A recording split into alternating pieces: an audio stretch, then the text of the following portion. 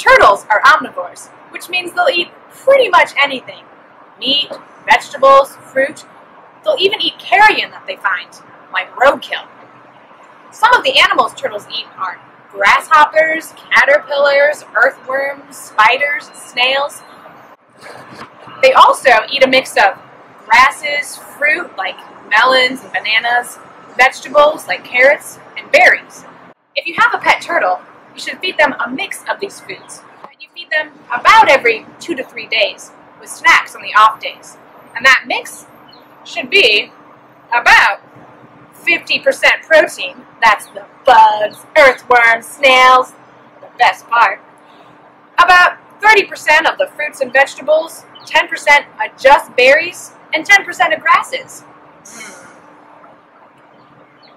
Yeah, delicious. Venzel.